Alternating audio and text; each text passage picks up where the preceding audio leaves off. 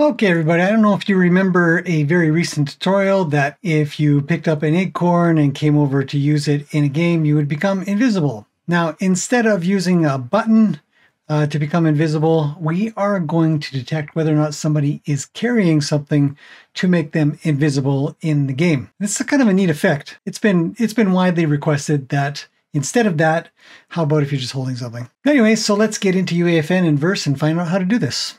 Okay, so we are inside of UEFN, and the way we're going to do this is we're going to have another item spawner. So we've got an acorn spawner here. I'm just going to select it, hold the Alt key down, and move it over one so that we have another item spawner. And inside of here, we want to have something that we can actually hold in our hands. Now, I think the easiest thing to use is a card. So let's grab, uh, let's grab the authority card. It's kind of a fun one. And this is going to be something that we're able to hold in our hands so that when we're holding this, we become invisible.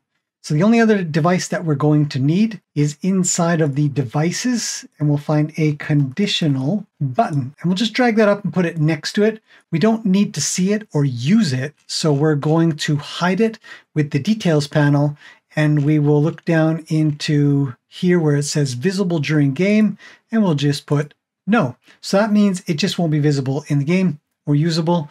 And instead, we are going to call it with verse. So save that, and then let's head down into verse. Okay, so we are inside of verse now, and we're going to set up um, an editable for our card detector. So we'll go card detector, and we are going to just have it be a conditional button, which we have right here. So we'll just copy and paste.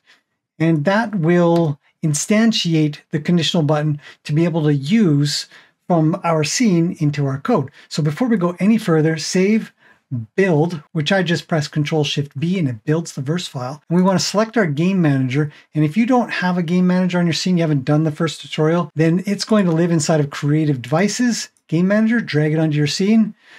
Then select it, and inside of the details panel, our editable is going to show up card detector, and we're going to select whichever conditional button it was, but I don't remember which one it was.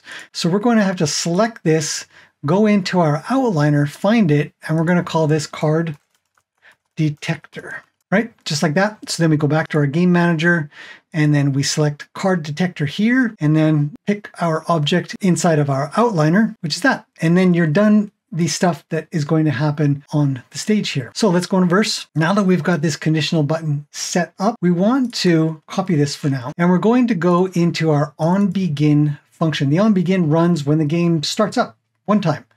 And we want to run a loop on a bit of a timer that says, hey, check everybody, check everybody. And on that check, it's going to say, hey, is this player holding a card? And if so, let's make them invisible. If they're not holding it, then make them visible. So let's do our loop. So what we're going to do is we're going to go spawn, uh, check for card. Call it whatever you want. If you're wondering what spawn does and what we're doing here, let's let's make the function really quickly. So we'll go check for card, and then we're going to do suspends because this is going to do things on a timer. It's going to stop things and then do things, and stop things and do things. So that's suspends. It's an asynchronous event or an asynchronous thread that runs in the game. You can think of asynchronicity as if, say, you were a bartender and you were making drinks or something like that, and you wanted somebody to bring ice, but regularly. Every five minutes, bring me a bag of ice. But it doesn't mean that you make a drink and then they do it. You're just telling them, hey, bring me ice every five minutes or so that makes them an asynchronous actor or object in the situation. You're making stuff, they're doing things. So that's what we're doing here. We go spawn, check for card, which means we're just kind of doing it all the time while the game's running. So the first thing we need to do is sleep. So it's going to sleep for one second. During that one second, nothing happens. After that one second passes, we're going to go through the list of players and we're going to check what they've got in their hands. So the way that we can do that is we grab our list of players, we go all players, we say uh, colon equals get play space, and then inside of get play space, we go get players like that. And that will give us back a list of all the players that are in the game. So then we can go for player, all players.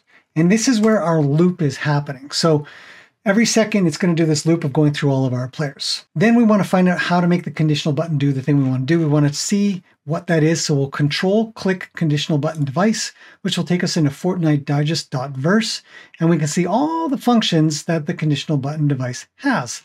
And if we scroll a little ways down, we can see this one called is holding item. And this requires an agent to be passed into it. And we also want to take note that it is a decides function. Let's copy this is holding item. And we're going to go down to our function here of check for card. And inside this for, we're just going to copy in is holding item because we then we need card detector. I like to copy and paste function names and object labels or names because it reduces the amount of typos that I have. So we'll just copy that, hit period. And then because this is a decides, we want to use square brackets. And then we need to pass in the agent. And also because is a decides, we have to do if, wrap it in an if statement. Now we're not done yet. We still need the agent. So to get the agent, we have to cast this player object to an agent object. So to do that, we're going to do another if statement and we'll go if is agent and it's an agent object equals agent player. So we're taking the player object and say, hey, turn this into an agent object because it's in there. We can get it colon, and then we'll bring this other one back to the right tab space because tab spacing is vital in this. So that means that we have the agent of the player. So we'll copy that, right? Copy that again, place that in, squigglies go away. So if the player or the agent, which is the player, is holding the item that lives inside of the conditional button, which we haven't finished setting up yet, but we will, uh, then do a thing. So we will head down to our function that we've already created in our last tutorial, and that is make player invisible.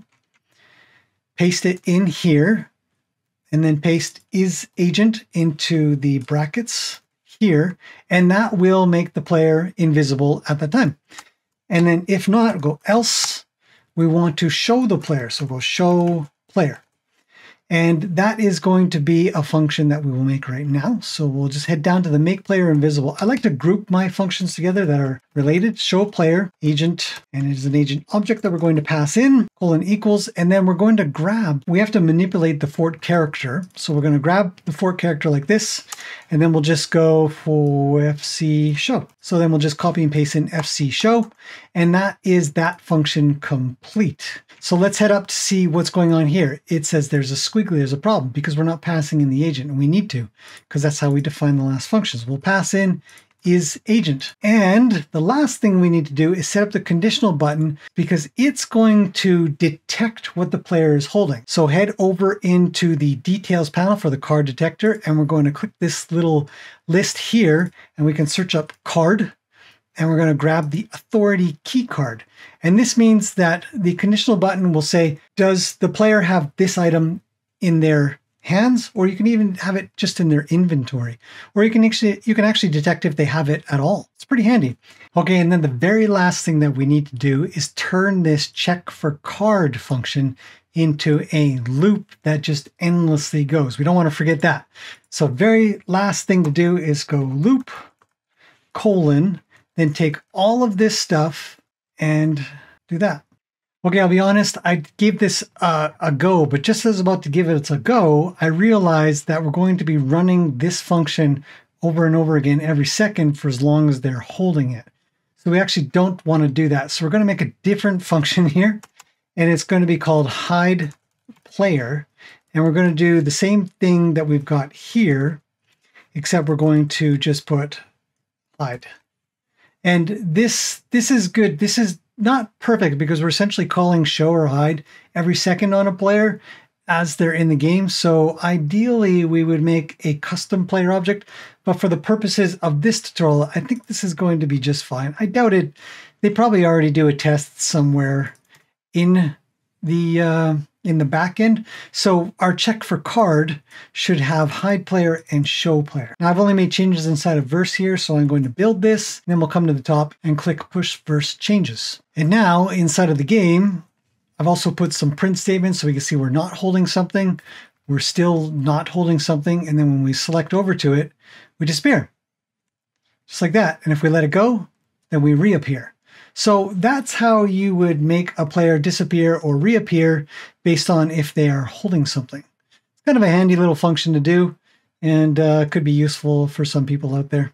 So hopefully that's been interesting and I will see you guys in the next one.